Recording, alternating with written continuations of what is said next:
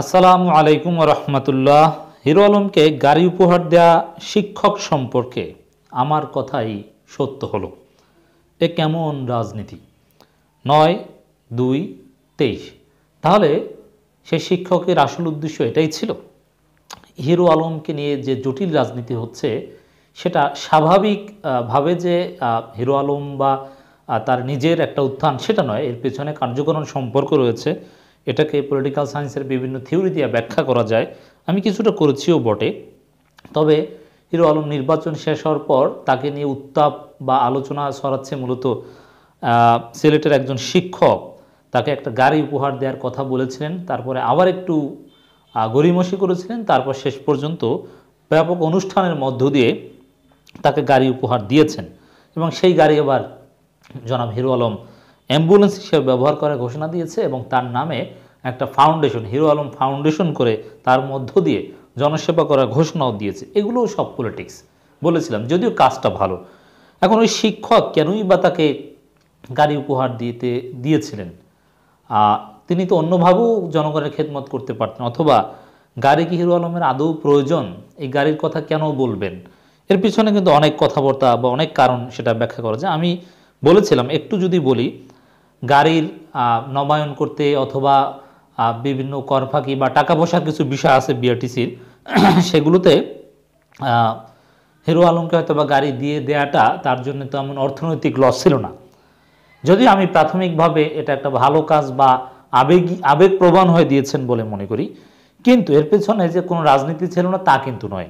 আমি বলেছিলাম এবং এখনও বলি, আমার কথাই সত্য হচ্ছে আমি বলেছিলাম যে এই জনাব, এই শিক্ষক সাহেব, প্রিন্সিপাল সাহেব তিনি অথবা তার মতো অনেকেই আরও অনেক হিরো আলম আসবে, আমি এই ভাষায় বলেছিলাম, তারা নির্বাচন করবে। এবং তারা যদি একটা রাজনৈতিক দল গঠন করে, অথবা পর্দার অন্তরাল থেকে এই ধরনের ব্যক্তিদের that means social media influence use করে নির্বাচন করার একটা উচ্চাবিলাস এটাকে পর্দার অন্তরাল থেকে অনেকে, অনেক মিডিয়া বা অনেকে প্রমোট করবেন। এমনকি সরকারও সেটাকে প্যারাটাইজ করতে পারেন, বিশেষ করে আসন্ন জাতীয় নির্বাচনকে পার্টিসিপেটি করার জন্য, উৎসব মুখর করার জন্য, মানুষের আকর্ষণ ফেরানোর জন্য। এই হিরো আলম টাইপের লোক অথবা এই প্রিন্সিপালের মুখলিসুর রহমান টাইপের লোক অথবা ব্যারিস্টার সুমন টাইপের লোক, যাদের একটা সোশ্যাল আমি কিন্তু কাউকে ছোট করছি না।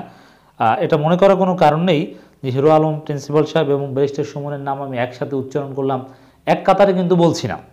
সোশ্যাল স্ট্রাটিফিকেশন আছে, তারা তারা প্রত্যেকেই প্রত্যেকের অবস্থান থেকে মর্যাদাবান, কিন্তু সোশ্যাল মিডিয়া ইনফ্লুয়েন্সার তারা কোনো সন্দেহ নেই।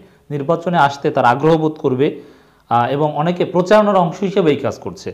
যেমন আমি যদি একটু নিউজটা বলি, নির্বাচনের ঘোষণা দেন হেরো আলমকে গাড়ি দেওয়া গাড়ি উপহার দেওয়া সেই শিক্ষক। এর মানে তিনি এখন অল্প সময়ের মধ্যে ভাইরাল হয়ে গিয়েছেন।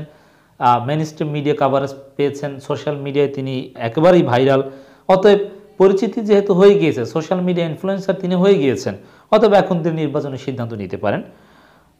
এবার নতুন এক ঘোষণা দিলেন মোখলিসুর রহমান। তিনি জানিয়েছেন হিরো আলমের মতোই ভোট যুদ্ধে নামবেন তিনি।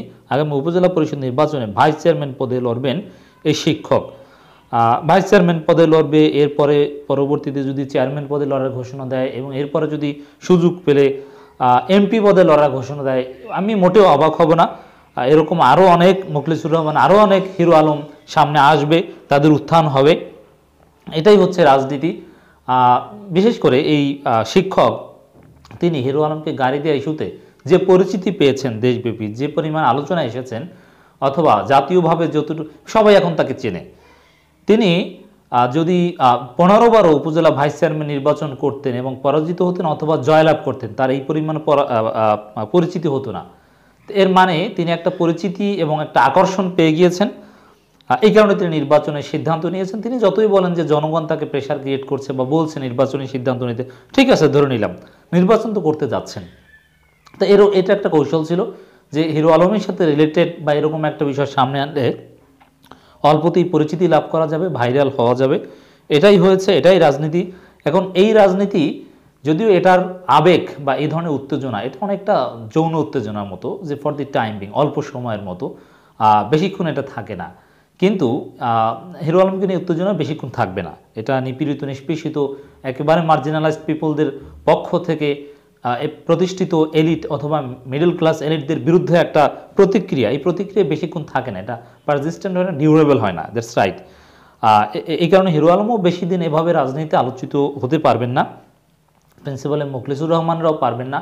এবং ব্যারিস্টার সুমন টাইপের লোকজনও দল থেকে নমিনেশন পাবেন না। তারা ব্যক্তিগতভাবে নির্বাচনে আসলে অবাক হওয়ার মতো থাকবে না। তবে বিভিন্ন মিডিয়া বা প্রতিষ্ঠিত লোকজন বা এনজিও বা অনেক এজেন্ট বা এর অনেকে কিন্তু এভাবে এই ধরনের লোকজনকে সামনে আনার একটা চেষ্টা পর্দার অন্তরাল থেকে করতে পারে। এর মানে এটা এক ধরনের রাজনীতি।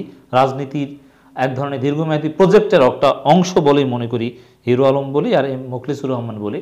এটা পলিটিক্যাল প্রজেক্টের অংশ হিসাবে আমি দেখতে চাই নয় দুই তেইশ।